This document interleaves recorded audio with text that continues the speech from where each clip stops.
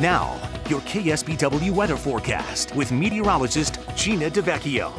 Happy Friday, everyone. Well, if you were really looking at our weather quiz question, I wanted to clarify because Dan asked me about it. I said an average of rainy days. How many average rainy days have we had across the area so far this month? And that means the 15 sites we use for data collection here. So an average. So from Salinas to Gilroy up into the Santa Cruz Mountains at Ben Lomond of those 15 sites. How many days have those on average had? rainfall. We'll answer that coming up in just a few minutes. As for our low temperatures this morning, this was a big part of the story because we had widespread frost all across our region, even near the coast. Marina 32 degrees with some thick frost. Carmel Valley 32 as well. Salinas 34. The warmest spot was Pebble Beach at 43 degrees. Down the Salinas Valley, you can see all of those low 30s as well. 30 degrees in uh, King City, so below freezing there. And as we take a look in the Santa Clara Valley, you can see all those 30s as well, down to Hollister, San Juan Bautista, and all of those mid to low 30s. And those are the areas that we also saw some thick frost as well. The coolest spot was Felton at 29 degrees early this morning for the low. As for our highs, that sunshine did warm us up. It felt nice because of the lack of wind. And so if you got to sit in the sun, it was enjoyable, but that chill in the air, temperatures only getting to the mid 50s in many locations. It did touch 60 degrees in Santa Cruz though, and a few upper 50s. Winds have now died down. We're going to see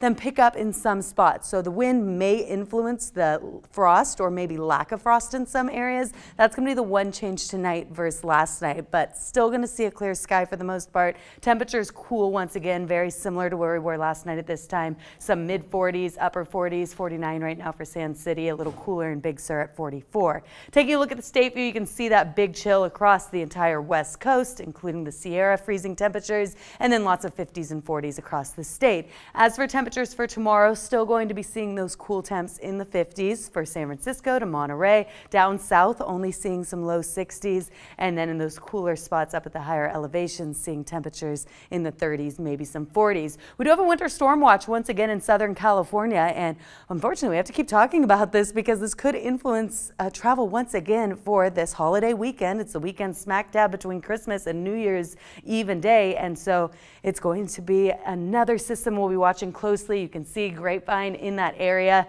of the winter storm watch, and that's for Sunday night through Tuesday morning. So here's the big picture. You can see those areas in alert. Now, again, in. This alert doesn't go on until late Sunday night, so could be seeing decent driving conditions for much of the weekend. In fact, that looks likely. Then we'll start to see some clouds building in on your Saturday, and by Saturday evening into Sunday, we'll start to see more clouds, which will keep us a little warmer at night, so that'll be nice. Uh, tonight and tomorrow look like some of our cooler nights. Then this uh, system comes, brings cloud cover and rain chances, snow chances up in the Sierra.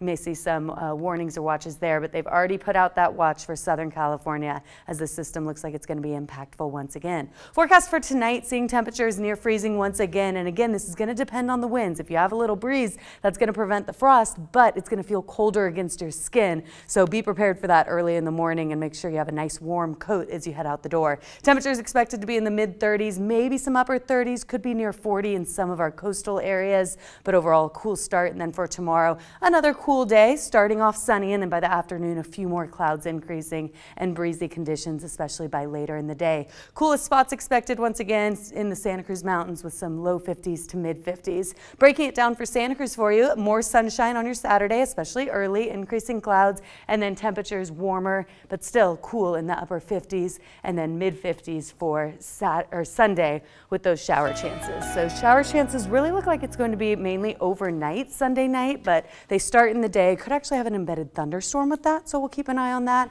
And then looks like for your New Year's Eve and New Year's Day holiday plans, uh, again, heavy travel, and looks like it is going to be on the clearer side, so that's good. Also, the night temperatures are going to get a little more comfortable. A little warmer. Yes, but not much. Okay.